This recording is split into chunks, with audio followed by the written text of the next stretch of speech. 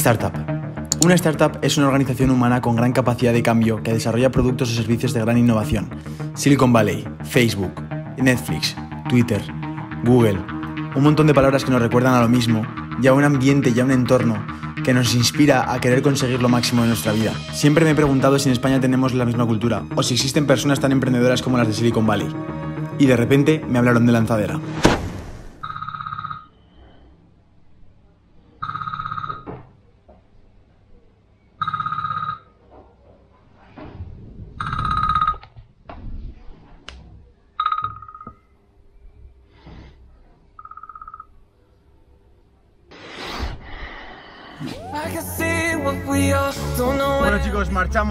Rumbo a Valencia. Sabéis que está muy de moda eh, todo el tema de startups, de emprendedores que fundan una empresa como Facebook y que la venden por millones de euros. Y ese es un ambiente muy americano que en España no estamos acostumbrados a verlo. Pero existe, no quiere decir que no exista. Y es lo que vamos a visitar hoy. Así que nada, vamos a darle caña, que empiece el viaje, que empiece el rumbo hacia, hacia Valencia.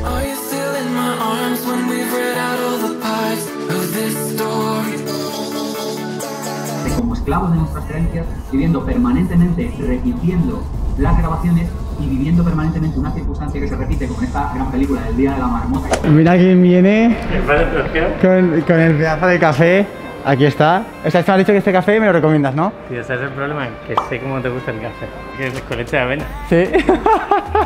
Este es Pepe. Para los que no lo conozcáis, Pepe es una persona que lleva más de 8 años emprendiendo. Entre sus proyectos podemos ver Minimalism Brand o Muere Vacío, que como dice él, son una extensión de su forma de ser. Y luego, bueno, entre otras cosas, es, es consultor, speaker, blogger, podcaster e incluso podemos decir que hasta youtuber. Pero donde quiero entrar en detalle es en Minimalism. ¿Cómo han sido capaces de vender más de 500.000 euros este año con ropa que no tiene diseño? Y esto fue lo que me dijo.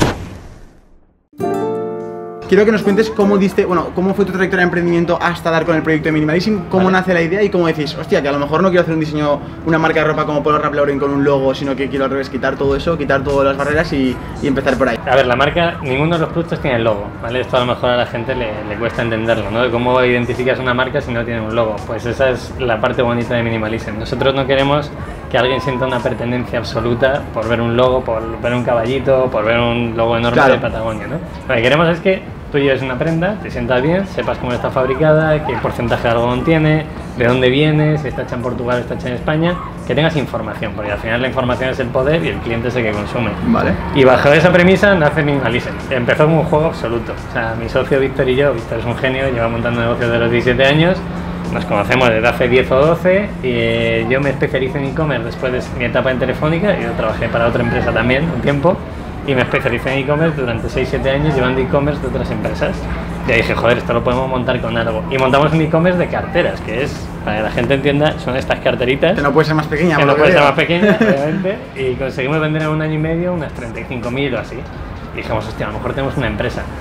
Por casualidades de la vida lo llamamos minimalism. La tendencia minimalista está en boca de todo el mundo. Empezó a crecer y dijimos, venga, siguiente punto. Vamos a meter ropa.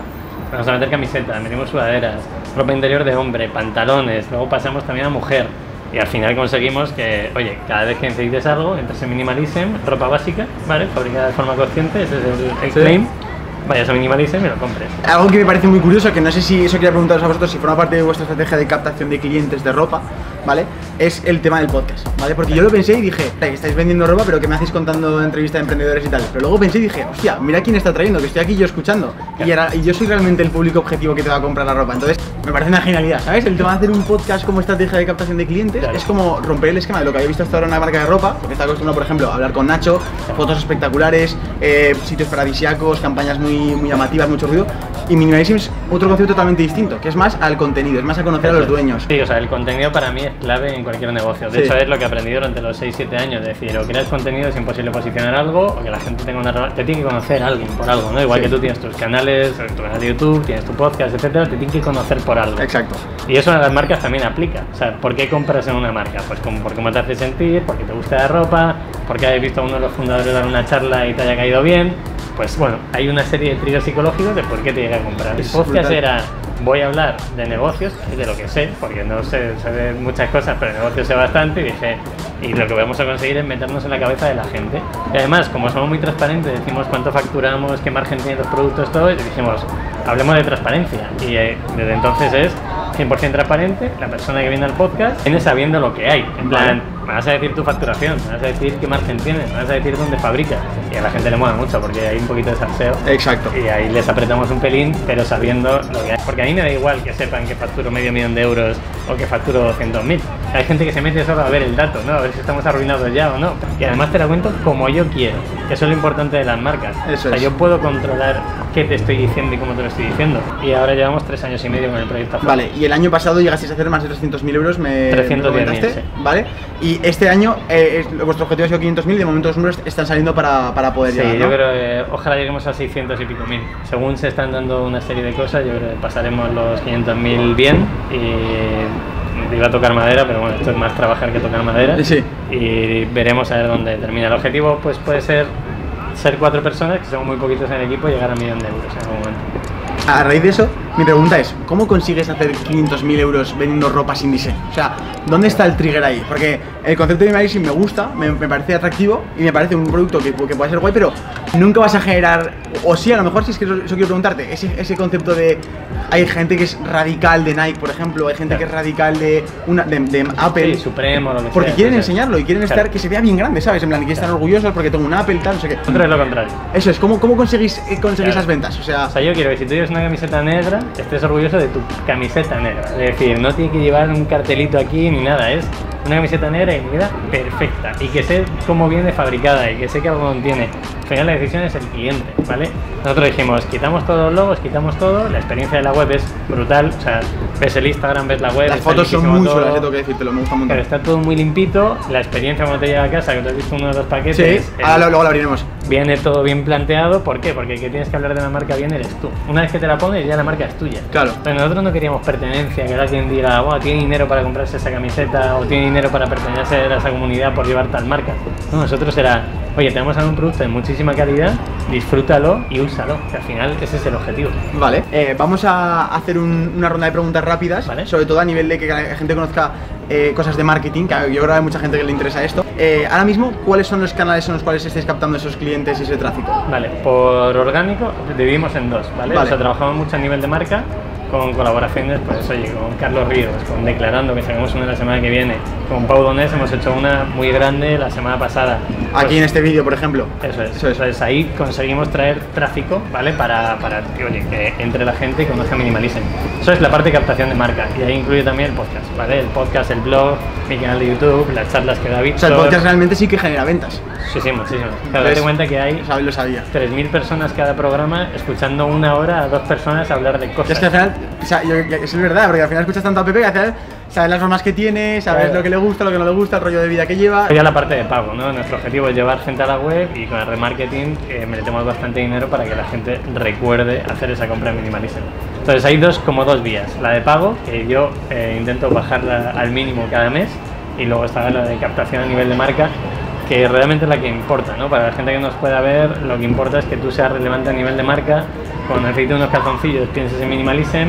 Cuando necesites hacer un regalo, un ropa interior a tu chica, pienses en Minimalism y es una oportunidad, una marca pequeña. El producto de minimalista lo vais a llevar al extremo en el sentido de que, por ejemplo, eh, porque también lleva la parte de eficiencia de ser minimalista y a lo mejor una tienda física no es eficiente y a lo mejor nunca llegáis a tener una tienda física, ¿no? Claro.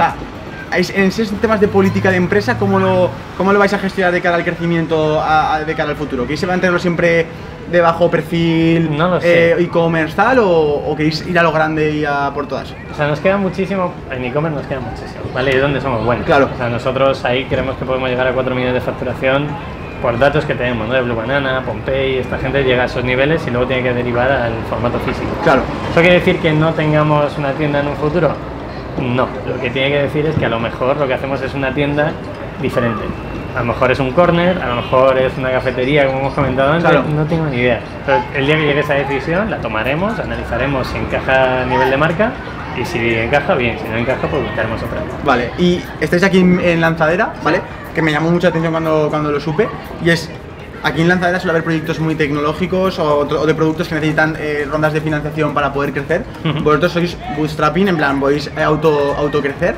Eh, ¿Por qué estáis aquí? O sea, ¿por, por qué, ¿cómo nace la idea de venir aquí y, y qué hacéis aquí en Lanzadera? A ver, yo no lo digo siempre de coña, es que a mí me gusta la playa. Yo, soy- yo soy de Segovia, me quería venir a vivir a la playa. Es Yo igual, eh, soy de Zaragoza, es uno de los- es uno de los porqués. O sea, yo salgo a correr todas las mañanas por la playa y soy una persona feliz. Partiendo de eso, que es una decisión personal, porque el que más ha venido aquí eh, y más responsabilidad, entre comillas, tiene el equipo aquí, de obligaciones, de reuniones, etcétera, soy yo. Entonces dijimos, vale, si me vengo yo a vivir aquí, me apetecía un montón, perfecto. Y luego también nutrirnos de lanzadera. O sea, aquí ya me he dado cuenta, pasé de los años, también pasé por Google for Startups, ¿no? que es como un lanzadera pero en Madrid, y te das cuenta que lo importante es la gente. Eso es. con quién te tomas una cerveza, el proyecto que conoces, el café que te tomas, las sinergias que puede haber entre unos y otros.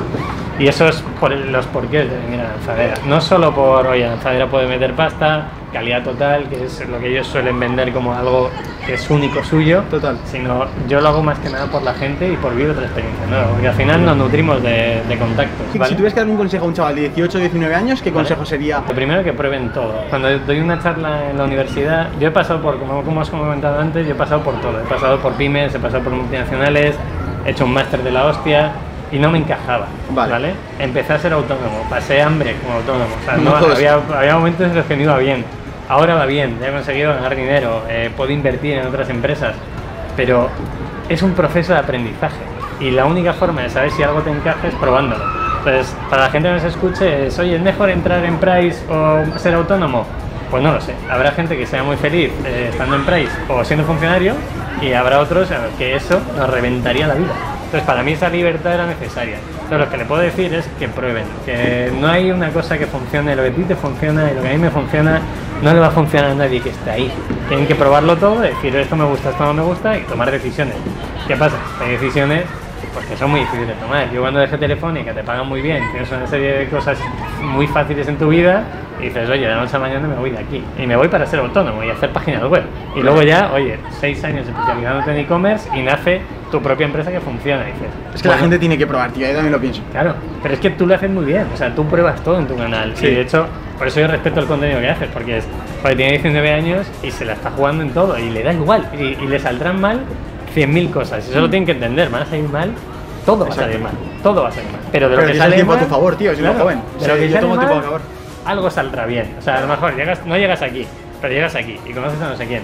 Y oye, y buscamos una entrevista con no sé cuál. Y busca, hay que intentarlo. Si no, si no haces nada, pues obviamente no pasa nada. Ya sabéis, como os he dicho antes en el vídeo, eh, tenéis el link abajo en la descripción de la ropa de Minimalism eh, para poder cogerla, tenéis de todo, ya podéis pasar en la web y podéis, bueno, ya conocéis a Pepe, conocéis el, cómo es el concepto de la marca, así que nada, tenéis todo en la descripción.